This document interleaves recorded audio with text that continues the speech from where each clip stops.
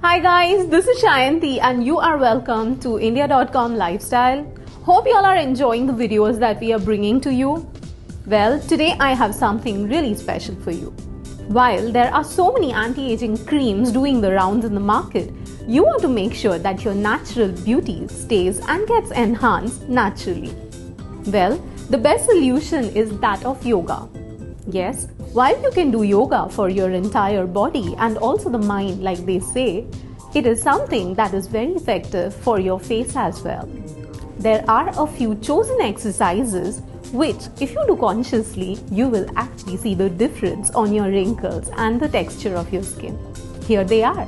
The best part is that you don't actually need any equipment to try them out. Well, it will just require 10 minutes of your day to fit it into the routine. So why don't you begin with a regime right away? I will show you what to do. Make sure that you have a relaxed face to start out with. Your mind does not have any stress on it and just be there with yourself, use the me time to try out something which will actually benefit you. So, you would want to face the mirror initially while you want to start out. You can imagine that you are actually blowing a balloon.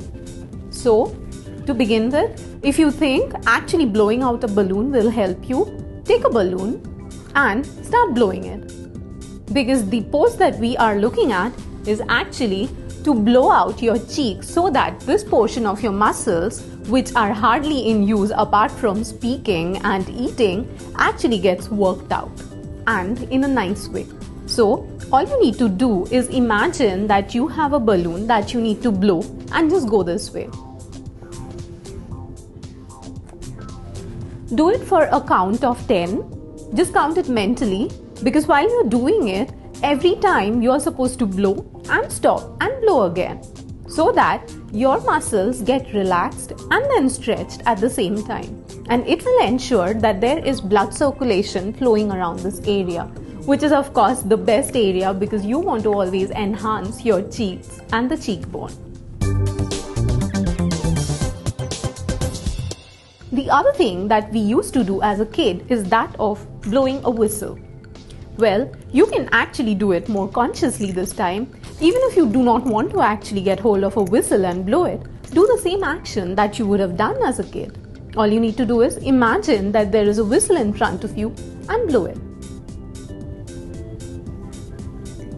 So, this is actually like whistling. If you want to whistle, you can do it with your mouth as well. While you're doing this, your lips are actually coming in the O shape and this will actually stretch out all the muscles in this area along with the chin and the jawline to make sure that there is nice blood circulation here.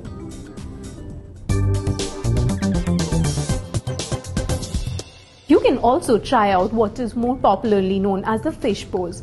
This might be a little advanced because if you haven't done it earlier and if you have any issues around your jawline, you may not be able to get that perfection, but you can still try it on.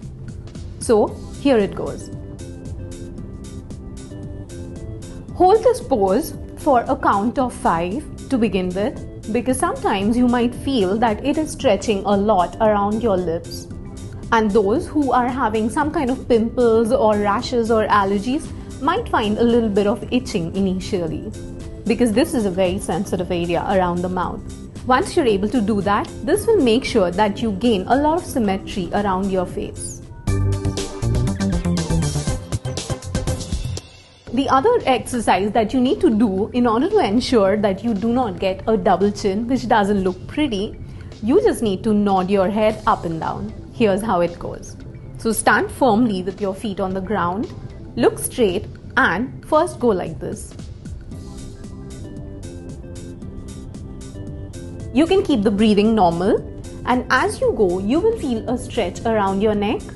Just hold it for 2 seconds so that you get a pull on the muscles here and this actually becomes very effective in ensuring that there is no fat log here.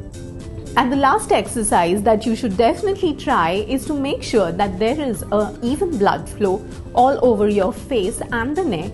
That is the overall moving your head in 360 degrees with a count of 5.